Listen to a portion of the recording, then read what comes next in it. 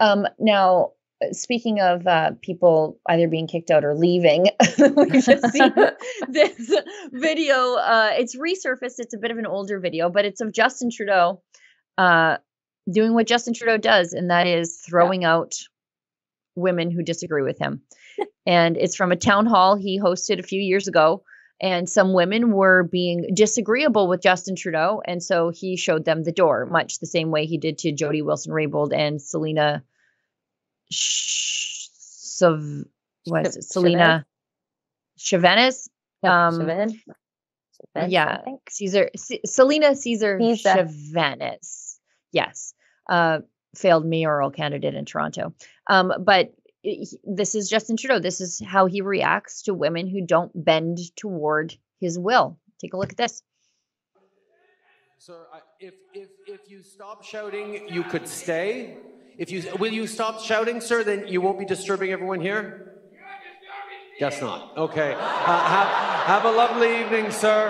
Uh, thank you for coming out in this exercise in democracy. It's not pretty, but it's the best system we have. Democracy's pretty good. Again. I am trying to engage with you. I am trying to speak with you. I'm, you don't respect anyone in this room? Then I'm going to have to ask you to leave this room. Usually it's not that easy. Usually it's harder to get them to admit they don't respect anyone in this room. Uh, I apologize for that. I apologize for the interaction. We'll have to stretch out the time a little more because I don't want you all to be uh, penalized for that. Part of that, the other part of, ah, come on, come on. Really? Really? Oh no, well, you're still here? Okay, well then, yes, we're going to ask the police to remove you.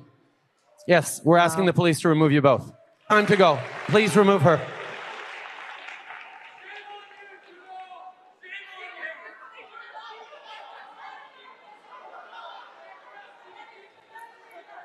Winston Churchill pointed out that democracy is messy. You know what? This this is about. Okay, do you, do you have one quick question? What's your what's your one question? Yes. Uh, how do I feel about critical discussion? ISIS. Okay. Have a wonderful evening, ma'am, and thank you for your participation in this democratic exercise.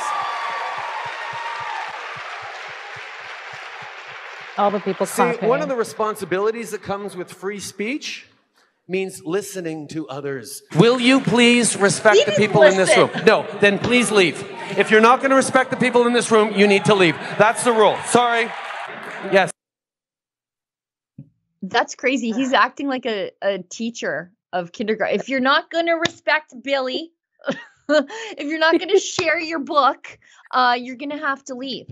I think all of those women that he kicked out were indigenous and or indigenous identifying, and that's good enough for the liberals. Um,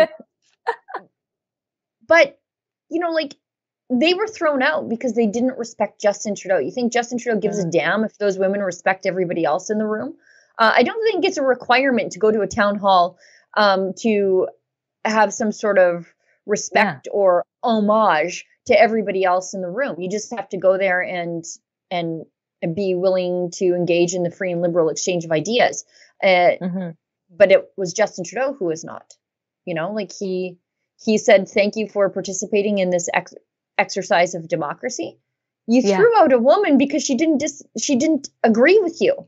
Uh, yeah. That seems entirely undemocratic to me. Well, and what really stands out to me is what appears to me like narcissistic behavior. He does it with a smile, with a grin, uses mm-hmm. words, uh, you know, like, oh, this is democracy, and everybody's clapping along and just falling in line with it. It's just creepy, actually, to watch. And one person after another. But I feel like it points out, because that was a few years ago, I think three years ago, it points out how the Liberal Party has changed now. Now it's hard for people to get in to these events. Right. They have their handlers on the outside. Of course, we of Rebel News have experienced that many times. You can't even get into these events. Uh, you know, they weaponize the police and security against you and say that it's private property. But I've also seen it when people have protest signs and they show up. So not just independent um, media, But people who have protest signs where it's very obvious that they're there to oppose his visit or they don't agree with him, they don't make it in either. So he's gotten smarter. Now you don't have the videos of him saying this and losing his cool, I might add, at that one part where he's like, Are you kidding me? Are you still in there? I mean, it kind of reminds me of um, that other time where uh, he got frustrated in the house and says he accidentally elbowed that woman when he went to go grab another MP out of the way. If you remember that in the chess, I forget her name, but it reminds me of this short temper that I've seen seen him have before. Um, yeah, and it looks more like like a normal person could handle people who are screaming and yelling at them. If you're a politician, you should be able to handle that. But yeah. having the police remove these non-violent, however disagreeable women out mm-hmm. of the event seems more like a power move. It's an exhibit of Justin Trudeau's power over the peasantry, is what we mm-hmm. saw there. And he did it with a smug smile. And he got angry when their removal wasn't happening enough, when they weren't shutting up fast enough yeah. for Justin Trudeau. Um, eh, you know what else is is also, I think, highly relevant in all of this. This is like a three or three ish year old clip. Mm-hmm. Do you remember the media really covering this at all? Uh, like, we exist no. in the news business. Yes. Uh, this is, I, I feel like if this happened to Pierre Poilievre, uh, oh. there would have been like 24 hour news cycles. And I think this, what, like, obviously, this was probably a room full of mainstream media. Yeah. And they were just like, oh, there were some disruptions, let's move on. Like, I don't think it was adequately yeah. covered the way it should have been. Well, it's the same as when he gets booed at everywhere he goes now, pretty much. They really downplay that. And again, the smug smile he consistently does.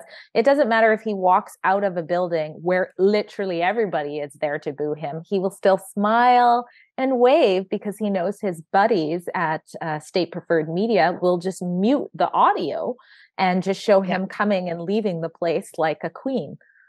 Yeah. And they'll say like conservative uh, disruptors. If they do uh, cover it, yeah. Attack Justin Trudeau event. And it's like, no, these are concerned Indigenous women um, yeah. whom Justin Trudeau normally has plenty of time for when they agree with him.